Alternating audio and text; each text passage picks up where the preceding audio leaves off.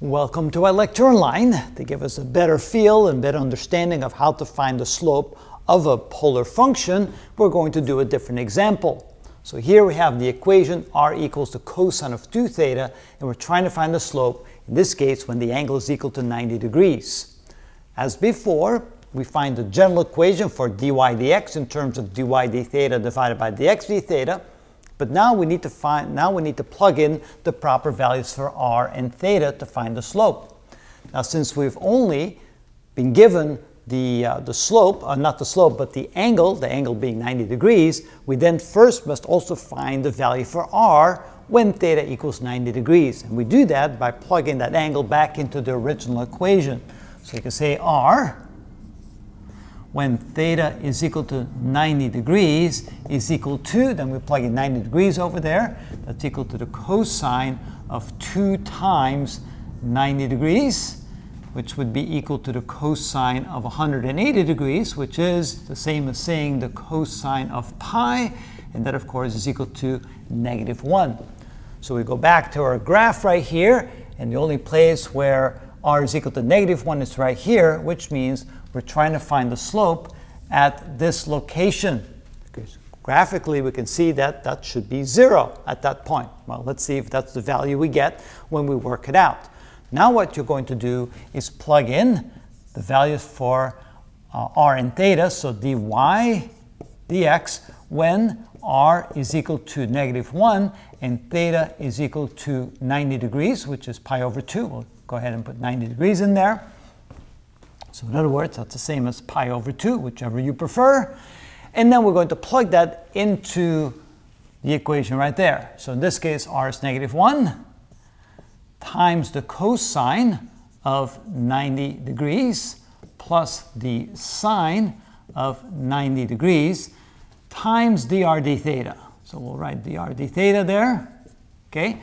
However, what we could also do is instead of writing dr d theta, we could go ahead and find out what dr d theta is in here. So in that case, we can say that dr d theta is equal to the derivative of this. Well, the derivative sine is the cosine, so the derivative cosine is the negative sine times the derivative of the angle. That would be minus 2 times the sine of 2 theta. So technically, we could then replace dr d theta by what dr d theta is equal to. So we'll do that in just a moment. So we're going to divide this by, in the denominator, we get r, which is negative 1, times the sine, or the negative sine of 90 degrees, so minus the sine of 90 degrees, and that would be plus the cosine of 90 degrees times dr d theta. Oh, that should be theta here. There we go. Okay, now Let's simplify it by eliminating anything that automatically goes to zero. The cosine of 90 degrees, that goes to zero, so that disappears. Here again, the cosine of 90 degrees, that goes to zero, which leaves us with, this is equal to the sine of 90, which is 1, times dr d theta. So let's go ahead and plug that in. That's a minus 2 times the sine of 2 theta divided by uh, let's see here. That would be uh, minus times a minus, that's plus. That would be the sine of 90 degrees. Well, the sine of 90 degrees, that's 1. We don't need to write that down anymore. So here, the sine of 90 is equal to 1 times a minus times a minus. That would be plus 1. And at this point, let's see here. Uh, let's simplify this even more by again plugging in the value for theta, theta being 90 degrees. So that would be uh, minus 2 times the sine of 180 degrees, which is equal to sine of 180, that's equal to 0. So again, that would be 0, just as we expected. Now, of course, technical detail here, I shouldn't really write the sine of 2 theta when I'm already indicating that I'm going to replace every theta by 90 degrees. So instead of that, I'll go ahead and go write 180 degrees so we don't violate the principles of mathematics here.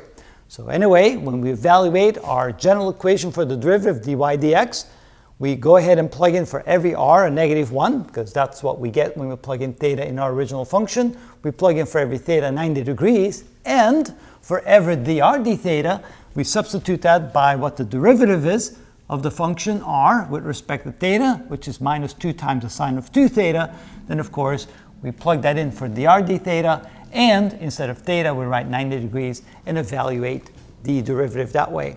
And that's how we find the derivative of a polar equation when we're given the angle, or in the previous example, when we're given the value for r. But in either case, if they give you the value for r, you'll have to find the value for theta. If they give you the value for theta, you will have to find the corresponding value of r. And if the derivative, dr d theta, survives in your equation, you also need to then plug in your dr d theta with the angle evaluated at the proper value. And that's how you find the derivative of a polar function.